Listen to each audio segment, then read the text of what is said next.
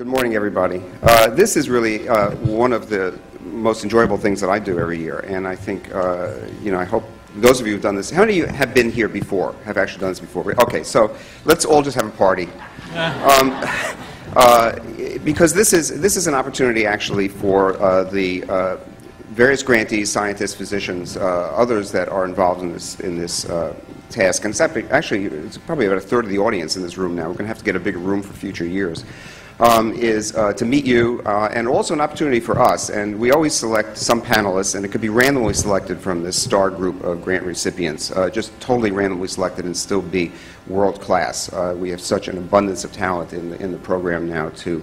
Uh, you know, to participate in the research, to speak to you, and to do all the things that, that, that, that we do. But it's an opportunity for them to actually meet you and answer questions that are your questions so they can frame their answers in, in ways that make sense to everybody here. Uh, and that often helps clarify thinking. When, whenever I have the opportunity to do this myself, I always make notes uh, to myself about things that I've said in lay language because it, it, it, teaches me something about my own work. Mary Claire King is shaking her head. She has the same experience.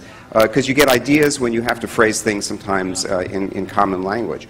And I think that this is, a, therefore, a great opportunity, a learning opportunity for everybody here.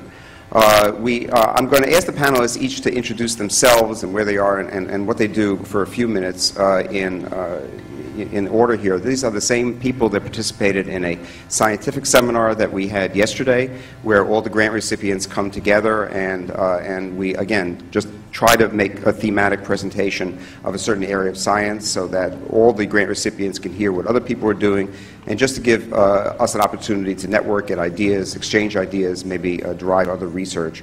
Uh, this is not like any other funding organization or, or, or, or, foundation in all of biomedicine. This is a totally different style of, uh, of, of, conducting research. People are invited in to submit. They have to submit a, uh, a, uh, an application about some of their ideas of what they want to do, and then it's reviewed and with almost 100% acceptance rate because of the cleverness with which the scientific advisors you know, choose the people that are asked to, to participate. But the idea is to make this a, a, true, uh, a true college in the old medieval sense of it, where people who are, are dedicated to a certain task uh, gather together in, in a friendly, uh, supportive, networking uh, kind of, uh, of, of environment uh, so that they could do creative work and do creative work together and do creative work without enormous fear that creativity is going to, is going to be punished. Um, as, as, anybody here who's, who's been involved in other granting opportunities, especially federal government organized granting opportunities, will tell you, basically when you write a grant, you have to basically say what you're going to discover in great detail before you send in an application to get the money to discover it. Uh, it sounds really ludicrous, but that's exactly what has to be done because, and uh, the, the, the two criticisms that always come back when you don't get a good grant review are over ambitious, that means you actually try to do something new and bright, you know, you know, or insufficient preliminary data, which means you haven't done it yet before you get the money to do it, right? Well, yeah. The best response I ever got from, the, from, from, from, from, our uh, grant recipients because they know exactly what it is. So you have careful that you can prove that you're going to prove what you've already proved and you also have to be very, very careful to, to make it, to not to make grandiose claims about how going to help anybody with what you've actually done, because that would be considered overambitious. And so then you have to sort of, you have to sort of carve it in that kind of direction. So you can understand, and then, oh, by the way, then if you get your grant, which actually the federal government is very happy that they've actually increased the percentage of meritorious grant funding.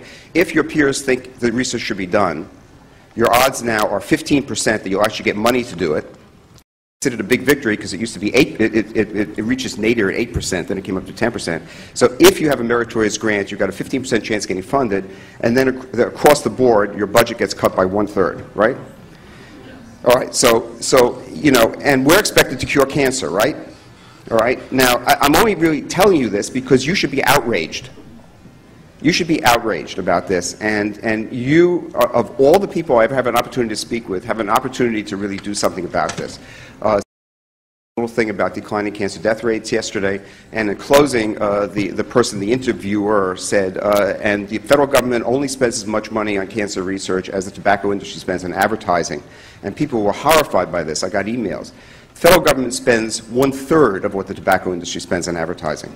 All right, it's a $5 billion NCI budget, $16 billion uh, tobacco advertising budget. All right.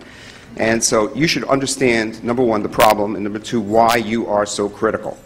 and why organizations such as this are absolutely critical for making progress. It's not just adding something on top. It's actually becoming the core of what we need to do to get things done and to be imaginative and being creative.